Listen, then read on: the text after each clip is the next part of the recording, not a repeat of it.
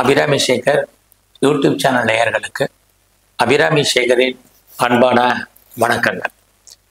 நம்ம இந்த வீடியோ தொகுப்பில் ரெண்டாயிரத்தி இருபத்தஞ்சில் யாருக்கெல்லாம் லாட்ரி யோகம் இருக்குது அல்லது அதிர்ஷ்டம் இருக்குது அப்படிங்கிறத பொதுவாக பார்க்குறோம் இங்கே லாட்ரி யோகம் மட்டுமல்ல வேறு ஏதாவது அதிர்ஷ்டங்கள் இருக்கா? இந்த அதிர்ஷ்டங்கள் எந்த ரூபத்தில் வருது?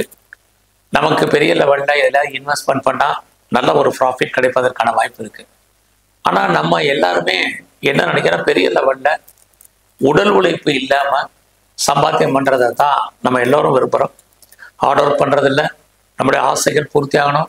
நிறைய வருமானங்கள் வரணும். சம்பாத்தியங்கள் வரணும். இது எல்லோருக்கும் ஆசைகள் உண்டு. ஆனால் எல்லாருக்கும் அந்த ஆசைகள் நிறைவேறுதா அப்படின்னா கண்டிப்பாக இல்லை. இந்த வருஷம் ரெண்டாயிரத்தி இருபத்தி அஞ்சில் நம்ம எல்லாருடைய வாழ்க்கையிலுமே நிறைய மாற்றங்கள் இருக்கு. காரணம் என்னன்னா இந்த ரெண்டாயிரத்தி இருபத்தி அஞ்சில் மார்ச் மாதம் இருபத்தி ஒன்பதாம் தேதி திருக்கணிதப்படி சனி பகவானுடைய பயிற்சி கும்பராசிலேருந்து மீன ராசிக்கே இருக்கு. அடுத்தபடியாக மே மாதம் பதினான்காம் தேதி குரு பகவான் ரிஷப ராசியிலிருந்து மிதுன ராசிக்கு பயிற்சி ஆகிறார். அதுக்கு அடுத்தபடியாக பார்த்தீங்கன்னா அது குரு பயிற்சியான ஒரு நான்கு நாட்களுக்கு அப்புறம் ராகு கேது பயிற்சி ராகு பகவான் இது வரைக்கும் மீன ராசியில் சஞ்சரிச்சிட்டு இருந்தவர் கும்பராசிக்கு வர்றார். கன்னி ராசியில் சஞ்சரிச்சிட்டு இருந்த கேது பகவான் சிம்மராசிக்கு வர்றார். ஆக சனி குரு ராகு கேது இந்த அத்தனை கிரகங்களும் இந்த வருஷம் பயிற்சி ஆகிறாங்க. இது எல்லாமே நம்ம எல்லாருடைய வாழ்க்கையிலையும் மாற்றத்தை செய்யறதுக்கு இருக்கு. இந்த மாற்றங்கள் என்னவாக இருக்கும் நம்ம பார்க்குற போது இப்போ இந்த லாட்ரி யோகம் எல்லாருமே அதான் கேட்டுட்டு இருக்கிறாங்க. இந்த யோகம் எல்லாருக்கும் இருக்கா? அப்படின்னா கண்டிப்பாக இல்லை. இங்கே நம்ம பனிரெண்டு ராசிகளில் எந்தெந்த ராசியில் பிறந்தவங்களுக்கு இந்த வருஷம் ஒரு வாய்ப்பு இருக்கு? அவ்வளோதான் இந்த வாய்ப்பு உங்களுடைய தனிப்பட்ட ஜாதகத்தை பொறுத்து தான் இருக்குங்கிறதையும் நான் திரும்பவும் சொல்கிறேன் இதில் சொன்ன ராசிக்காரங்க எல்லாருமே லாட்ரி டிக்கெட் நமக்கு இருக்கு. நம்ம வாங்கினா பெரிய லெவலில் வந்துடலாம் அப்படின்னு நினைக்காதீங்க. இதில் சொல்லாதவங்களும் பெருசாக கவலைப்படாதீங்க. லாட்ரி என்பதே ஒரு அதிர்ஷ்டத்தை பொறுத்து தான் எப்பயுமே அதிர்ஷ்டம் இறைவன் கொடுக்கறது. அதுக்கு நம்ம ஜாதகத்தில் யோகம் இருந்தால்தான் லாட்ரியில் நம்ம சம்பாதிக்க முடியும்.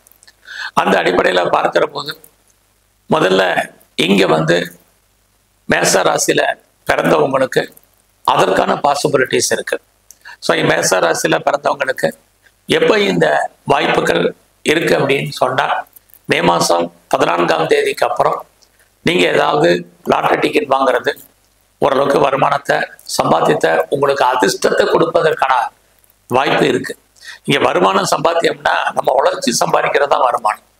உழைக்காமல் சம்பாதிப்பது அதுக்கு பேர் அதிர்ஷ்டம். அந்த அதிர்ஷ்டத்தை தான் நம்ம லாட்ரியில் நம்ம சொல்லியிருக்கோம்.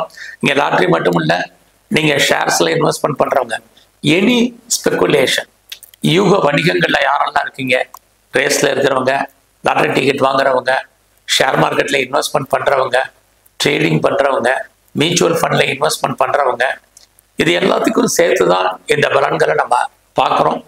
அது மட்டும் இல்லை இந்த காலங்களில் மேச ராசியில் பிறந்தவங்களுக்கு அதற்கான வாய்ப்புகள் இருக்குது இந்த வாய்ப்புகள் எப்போ ஹைலைட் ஆகும் அப்படின்னா மே பதினெட்டாம் தேதிக்கு அப்புறம் நீங்கள் இதில் லாட்டரி டிக்கெட் வாங்கினால் ஓரளவுக்கு வாய்ப்புகள் இருக்குது அது மட்டும் இல்லை நீங்கள் யாரெல்லாம் ஷேர்ஸில் இன்வெஸ்ட்மெண்ட் பண்ணுறீங்களோ ஓரளவுக்கு நல்ல ஒரு ரிட்டர்ன்ஸ் கிடைப்பதற்கான வாய்ப்பு இருக்குது எப்பயுமே தெரிஞ்சுங்க இந்த ரிட்டர்ன்ஸ் கிடைக்குதுங்கிறதுக்காக நீங்கள் வந்து பெரிய லெவலில் இன்வெஸ்ட்மெண்ட் பண்ண வேண்டாம்.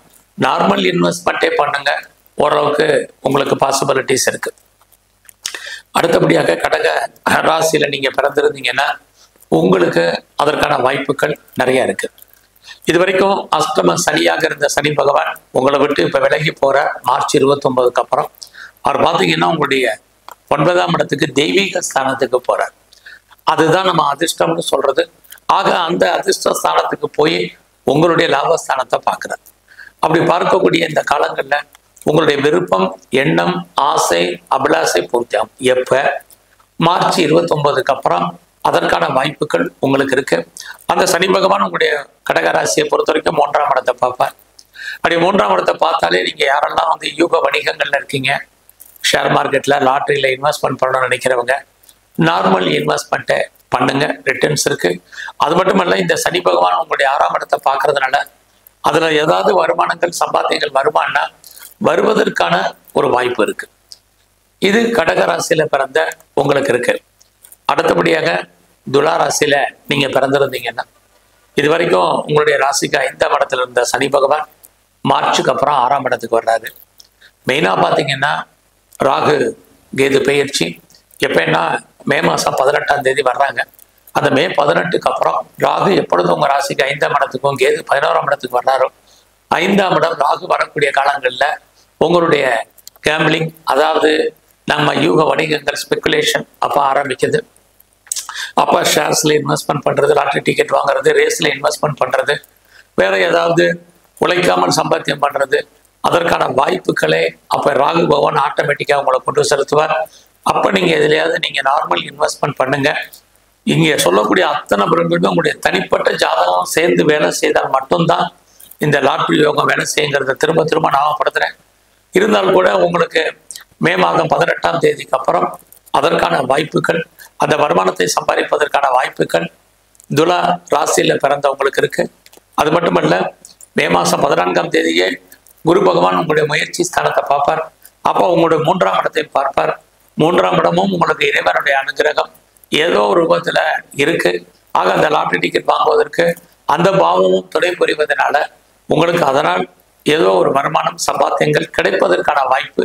இங்கே சம்பாத்தியம் சொல்ல முடியாது வருமானம் தான் சொல்லணும். உண்டு. அடுத்தபடியாக நீங்க விருச்சக ராசியில பிறந்திருக்கீங்க. அப்படின்னா இது வரைக்கும் உங்களுக்கு அர்த்தாஷ்டம சனி நாளில் சனி பகவான் இருந்தார். அவர் இப்ப அஞ்சாம் இடத்துக்கு போறார். அது ஐந்தாம் இடம் டெம்டேஷன் நம்முடைய உணர்வுகளை தூண்டுவது. அது மட்டுமல்ல ஐந்தாம் இடம் லாட்ரி உரிய பெரிய லெவலில் உழைக்காம நம்ம சம்பாத்தியம் பண்றதுக்கான ஒரு வாய்ப்பு. அங்க இருக்கக்கூடிய சனி பகவான் உங்களுடைய இரண்டாம் இடத்தை பார்க்கிறார் பத்தாம் பார்வையாக. அப்படி பார்த்தாலே இந்த வருஷம் பெரிய லெவலில் உடல் உழைப்பு இல்லாமல் விருச்சக ராசியில் பிறந்து நீங்கள் சம்பாதிப்பதற்கான ஒரு வாய்ப்பு நிறையவே உங்களுக்கு உண்டு. அது மட்டும் இல்ல அந்த சனி ஐந்தில் இருந்து உங்களுடைய லாபஸ்தானத்தை பார்க்கிறார். உங்களுடைய விருப்பம் எண்ணம் ஆசை அபிலாசை அத்தனையுமே பூர்த்தி ஆவதற்கான சூழ்நிலைகளை உருவாக்குவார். ஆக இந்த காலங்களில் பெரிய இன்வெஸ்ட்மெண்ட் இல்லாமல் நார்மலான ஒரு இன்வெஸ்ட்மெண்ட்டிலேயே நீங்கள் ஏதோ ஒரு விதத்தில் லாபத்தையும் சம்பாத்தி வருமானத்தையும் அடைவதற்கான ஒரு வாய்ப்பு நிறைய இருக்குது அடுத்தபடியாக கும்பராசியில நீங்க பிறந்திருக்கீங்க அப்படின்னா இதுவரைக்கும் உங்களுடைய ராசியில ஜென்மச்சரியாக இருந்த சனி பகவான் இரண்டாம் இடத்துக்கு வர்றார். இரண்டாம் இடத்துல இருந்து அவர் எட்டாம் இடத்தையும் பதினோராம் இடத்தையும் பார்வையிடுகிறார். அப்ப எட்டாம் இடத்தை பார்க்கக்கூடிய இந்த சனி பகவான் வாழ்க்கையில யாருக்கெல்லாம் முன்னோருடைய சொத்து கிடைக்கல அதுவே ஒரு அதிர்ஷ்டம் தான். முன்னோருடைய சொத்து கிடைக்கலைங்கிறவங்களுக்கு கிடைக்கும். எதிர்பாராத பொருள் வரவு தர வரவை சொல்லுவது எட்டாம் இடம். ஸோ நீங்க அந்த சனி பகவான் உங்களுடைய எட்டாம் இடத்தை பார்த்து உங்களுடைய பதினோராம் இடத்தையும் பார்க்கிறார் பதினோராம் இடம் தான் லாபம் வருமானம் சம்பாத்தியங்கள். அது மட்டும் இல்ல நம்ம கையில பணம் தனம் பொருள் நம்முடைய சின்ன சின்ன விஷயங்கள் அத்தனையும் பூர்த்தியாகுது ஆக அந்த இடத்த கும்பராசியில பிறந்தவங்களுக்கு சனி பகவான் மார்ச்சுக்கு அப்புறம் பார்க்கக்கூடிய காலங்கள்ல அன்எக்ஸ்பெக்டட் மணி அதாவது எதிர்பாராத வருமானம் அல்லது சம்பாத்தியம் ஏற்படுவதற்கான வாய்ப்பு கும்பராசியில பிறந்தவங்களுக்கு இருக்கு. அது லாட்ரிலியாவும் இருக்கலாம் உணவுடைய சொத்துக்களாக இருக்கலாம் கணவன் அல்லது மனைவியின் மூலமாக வரக்கூடிய வரவாக இருக்கலாம் அல்லது ரொம்ப காலமா வராத பணங்களாக எதுவானாலும் இருக்கலாம். இதுக்கும் அது எதிர்பாராத பொருள் வரவை சொல்லுவது. அடுத்தபடியாக நீங்க மீன ராசியில பிறந்திருக்கீங்கன்னா ஸோ இதுவரைக்கும் உங்களுக்கு பன்னிரெண்டாம் இடத்துல இருந்த சனி உங்களுடைய ராசிக்கு வருவார். இங்கே தான் அவர் ராசியிலிருந்து உங்களுடைய மூன்றாம் இடத்தையும் பத்தாம் இடத்தையும் பார்வையிடுவார். அப்படி பார்க்கக்கூடிய இந்த காலங்களில் சனி பகவானுடைய பார்வையை விடக்கூடிய காலங்களில் உங்களுக்கு ஏதோ ஒரு விதத்தில் அதிர்ஷ்டம் வருமானங்கள் சம்பாத்தியங்கள் உங்களுக்கு இருக்கும். இங்கே வருமானங்கள் அதிகங்கிறத தான் சொல்லணும். சம்பாத்தியங்கிறத காட்டிலும் லாட்ரியில் அது மற்ற விஷயங்களில் நீங்கள் எதுலையாவது எதிர்பாராத பொருள் வரவே தன வரவை சம்பாதிப்பதற்கான வாய்ப்பு நிறையவே உங்களுக்கு இருந்துக்கிட்டே இருக்கு. அது மட்டும் இல்லை இந்த மார்ச்சிலிருந்து இருந்து மே மாதத்துக்குள்ளே இந்த யோகம் உங்களுக்கு பல மடங்கு இருக்குது குறிப்பாக மே பதினான்குக்குள்ள உங்களுக்கு இதற்கான வாய்ப்புகள் எதிர்பாராத பண வரவு பொருள் வரவை கொடுப்பதற்கான வாய்ப்பு நிறைய இருக்கு. இங்கே நான் ஒரு ஆறு ராசியை சொல்லியிருக்கேன். பாக்கி விட்டு போனவங்க யாரும் பெருசாக ஒன்றும் கவலைப்படாதீங்க. இந்த சொன்ன ராசியில் இருக்கிறவங்கலாம் பல கோடியை சம்பாதிக்க போகிறது இல்லை. ஆனாலும் ஒரு வாய்ப்பு ஒரு சம்ப ஒரு சந்தர்ப்பம் இருக்கிறனால அவங்களுக்கு சுட்டி காட்டியிருக்கேன். இது அவங்களுடைய தனிப்பட்ட ஜாதகத்தை பொறுத்து இந்த பலன்கள் அவங்களுக்கும் சரி உங்களுக்கும் சரி மாறும். ஆக நம்ம எப்பயுமே வாழ்க்கையில் உழைப்பை மட்டுமே நம்பணும். அதிர்ஷ்டத்தை நம்பி நம்ம எல்லாரும் வாழ்றது என்றைக்குமே சிறப்பாக இருக்காது. ஆக எதிர்பாராத ஒரு ஏதாவது ஒரு வருமானம் வந்தால் கடன் அடையும். அல்லது நமக்கு இருக்கக்கூடிய பிரச்சனைகள் குறையும் அப்படின்னு எண்ணங்கள் சிந்தனைகள் இருக்கிறவங்களுக்கு மட்டும்தான் இந்த பலனை நான் சொல்லியிருக்கேன். எப்பயுமே நான் அதிர்ஷ்டத்தின் மேல நம்பிக்கை வைக்கிறது இல்லை உழைப்பின் மேல நம்ம எல்லாம் நம்பிக்கை வைப்போம். வெற்றி அடைவோம். நன்றி. வணக்கம்.